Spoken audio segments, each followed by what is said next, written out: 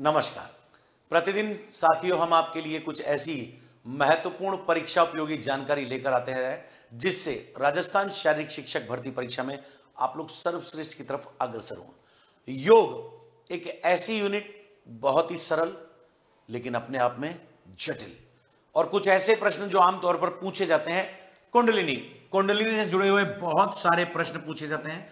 विद्यार्थियों की एक आम क्वेरी होती है कि, सर, ये कुंडलिनी है क्या? तो देखिए, बेसिक तौर पर यू समझिएगा कि ये एक मनुष्य का शरीर है, जो बैठी हुई अवस्था के अंदर विद्यमान है। अब इस शरीर के अंदर सात जगह हमारे शरीर के कुछ चक्र पाए जाते हैं। यहाँ सबसे नीचे हम लोग बात करते हैं मूलाधार चक्र की। उसके ऊपर हम लोग बात करते हैं स्वादिष्टान चक्र की, उसके ऊपर मणिपुर चक्र की, उसके ऊपर अनाहत चक्र की, उसके ऊपर विशुद्धि चक्र की, आज्ञा चक्र और फिर आ जाता है सबसे ऊपर, जिसको यदि मैं एक लाइन में बनाऊँ तो ये हो जाएगा सहस्रार चक्र। कुंडलिनी क्या कहलाती है? कुंडलिनी यही कहती है कि इन सातों चक्रों को मूल से भेदते हुए शीर्ष में मिला दें तो यही शिव का पार्वती से मिलन है। तो देखिए, यही एक बेसिक तौर पर एक चित्र मैंने आपके सामने रखा है। यहाँ शिव का स्रोत होता है, जो असीम शक्ति का स्रोत होता है, लेकिन विद्यमान किस रूप में होता है? शक्ति के रूप में। शिव कहाँ विराजमान होते हैं? ऊपर विराजमान होते हैं। शरीर की तीन नाड़ियाँ होती है। मध्य मध्य बीच में से जो कंट्रोल करती है, सुषुम्ना नाड़ी।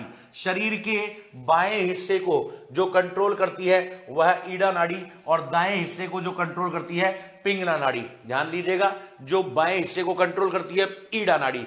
जो बाएँ हिस्से को कंट्रोल करने के बाद दाएँ करती है, पिंगला नाड़ी। इधर देखिएगा।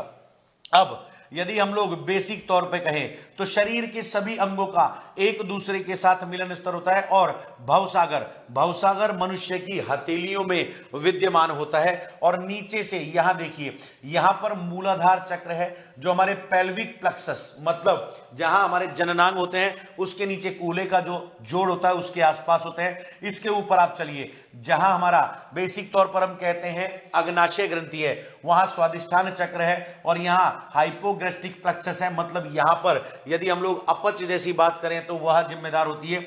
यहाँ देखिएगा, ये यकृत की अवस्था है और यहाँ पर मणिपुर चक्र होता है और इसका सोलर प्लेक्सेस मतलब शरीर की जो असीम ऊर्जा है, खाद्यान्न पदार्थों के रूप में यहाँ संग्रहित होती है। यहाँ कार्डियक प्लेक्सेस है और इसको अनाहत चक्र के नाम से जानते हैं, जहाँ हृदय होता है। इसके ऊपर आप चकिए, जहाँ हमारी थायराइड ग्रंथि है, यहाँ विशुद्धि चक्र है और यहाँ पर ये देखिए कैरोलिन जिसको हम लोग कहते हैं कैरोलिन प्रोसेस के नाम से मतलब आवाज़ का विविधीकरण, विभक्तिकरण होता है और सबसे ऊपर यहाँ जहाँ हमारा फोर हेड होता है, ये आज्ञा चक्र है और इसको मेडुला प्लेक्सस के नाम से जाना जाता है। जो मेडुला हमारा मेडुला ऑम्लगेटा होता है, उसको जागृत करता है।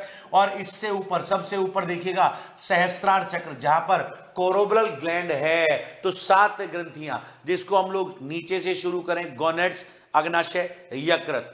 हृदय, और हृदय के पास होती है पीनियल ग्लैंड ठीक है, जिसको सॉरी थाइमस ग्लैंड और उसके ऊपर थायराइड उसके ऊपर यहाँ पीनियल और सबसे ऊपर होती है पीयूष ग्रंथि। ये सात ग्रंथियाँ ऊपर से काम करती हैं, चक्र नीचे से काम करते हैं। जब ये एक सार हो जाए तो इसको कहते हैं शक्ति का शिव में मिलन, और मनुष्य के ललाट पर असीम एक मंडल भावना आ जाती है। बिल्कुल ऐसा लगता है कि ज़बरदस्त तेज है। तो यही कुंडलिनी है। विस्तार पूर्वक आपको आने वाले दिनों में और बहुत बेहतर तरीके से बताएँगे। धन्यवाद, नमस्कार, जय हिंद, जय भारत।